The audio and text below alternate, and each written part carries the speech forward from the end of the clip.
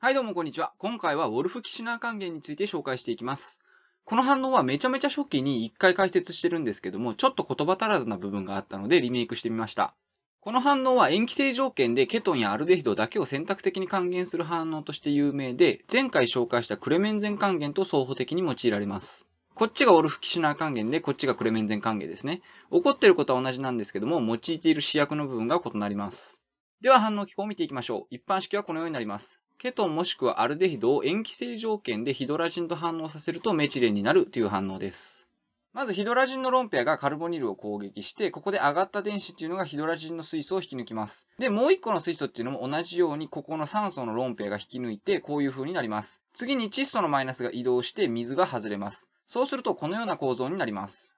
この C 二重結合 NNH2 っていう構造をヒドラゾンと言います。これややこしいんですけども、ここで使ったヒドラジンっていうのはある一つの化合物の名前なんですよね。つまり NH2、NH2 っていうこの一つの化合物の名前を指しています。で、ヒドラゾンっていうのはこういう構造をした化合物全般を指す名前です。これってメタノールとアルコールの関係みたいなもんで、メタノールっていうのは一つの化合物ですけど、アルコールっていうのはそういう構造の化合物全般を指す言葉ですよね。同じようにヒドラジンっていうのは NH2、NH2 の化合物の名称で、ヒドラゾンっていうのはこんな風にカルボニルとヒドラジンがくっついたような化合物全般を指す言葉です。で、次に塩基がヒドラゾンのここの水素を引き抜いて窒素間に二重結合を作ります。そしてできたカルバニオンっていうのが経内の水などからプロトン孵化します。そしてこれでできたこの構造の名前は別に覚えなくていいですけど、ジアゼンっていう構造です。で、またこれも同じように塩基でもう一個の水素を引き抜いて窒素間に三重結合を作ります。これで気体の窒素として脱離していきます。で、このカルボアニオンというのがプロトン孵化して、このようにメチレンが生じます。以上で反応は終了です。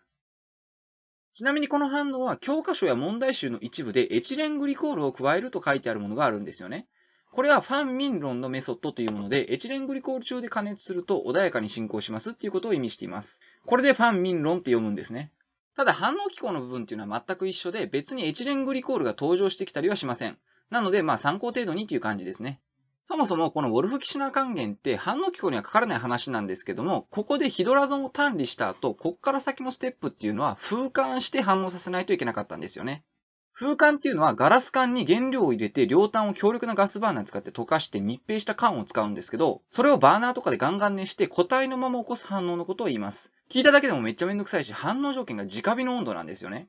つまりこのウォルフキシナ還元って熱に弱いような構造に対しては使えない反応だったわけなんですよ。でもこれをエチレングリコール中でやると単にしなくてもいいよっていうことを発見したのがファン・ミンロンさんなんですね。ただこのファン・ミンロンの方法っていう名前は別に覚える必要はなくて、風管で行うものもエチレングリコールを使うものもどちらもウォルフキシナ還元で問題ありません。ついでにもう一個言うと、これはもう書かないですけど、溶媒としてディム層を加えると室温付近の温度でも進行することが知られているようです。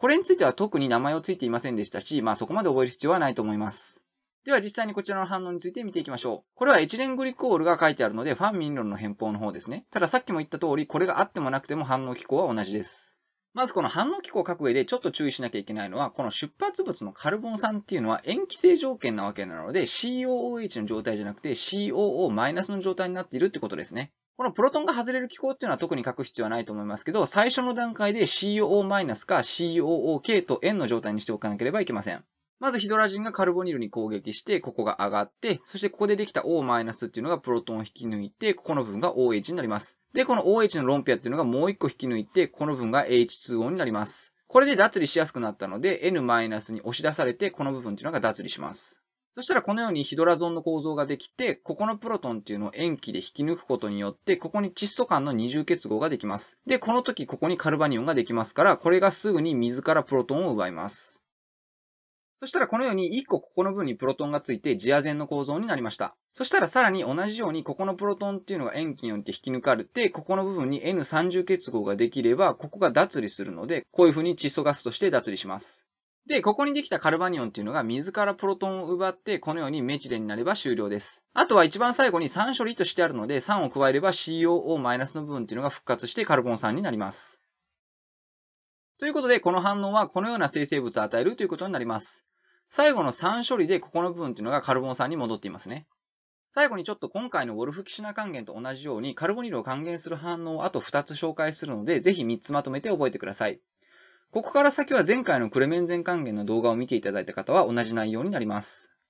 まずは今言ったクレメンゼン還元ですね。こちらもウォルフ・キシナー還元と同じく試験に品質なんですけども、今回のクレメンゼン還元と違うところは、こいつは明確な反応機構が解明されているわけではないので、反応機構が試験に出題されることはないよっていうことですね。もう一個はチオアセタール保護とラネーニッケルによる脱流です。これはチオアセタール保護っていうステップとラネーニッケルっていう触媒を使って脱流、つまり硫黄を取り除くっていうことをしてやると、ここがメチデになるよっていう反応です。こちらはね、前半の部分は反応機構をかけるんですけど、後半のラネーニッケルの部分っていうのは反応機構をかけないので、これも反応機構が試験に出ることはないと思います。実はカルボニルの還元はこれ以外にもヒドリドを使った還元とか色々あるんですけども、特にこの3つに関してはまとめて覚えることをお勧めします。どうしてかっていうと、この3つは適用できる条件がそれぞれ異なるんですよね。今回のウォルフ・キシュナー還元は KOH を使っているので塩基性条件ですよね。それに対してクレメンゼン還元は塩酸を使うので酸性条件。で、このチオアセタール保護と脱保護の場合っていうのは中性条件で反応が進行するので、このカルボニル以外の部分、つまり R1 とか R2 とかの部分っていうのが酸に強いのか弱いのかっていうので使い分けています。とりあえず、この3つは最低でも覚えて帰ってもらえると、ケトンの還元を任せとけってなるので、まずは一般式と使う主役の名前だけでも覚えて帰ってください。クレメンゼン還元の動画をまだ見ていない方は動画の概要欄の方から飛べるようになっていますので、ぜひそちらも見てくださいね。最後に告知です。この新有機科学チャンネルの中で紹介した反応を検索することができるアプリっていうのをこの度リリースすることになりました。非常に便利なアプリになっていますので、興味がある方はこちらの QR コード、もしくは概要欄の URL から飛んでぜひダウンロードしてみてください。App Store の方でも直接新反応機構と調べてもらえれば出てきます。まだ iPhone 版しかないんですけども、Android 版は絶賛開発中なので、Android の方はしばしお待ちください。今回の動画が役に立ったという方はチャンネル登録と高評価をぜひよろしくお願いします。ご指摘リクエスト等ありましたらコメント欄にどしどし書いてください。アプリを使ってっていただいた方は、App Store の評価とレビューを書いていただけると励みになります。皆様のお勉強の役に立てれば嬉しいです。それでは、バイバイ。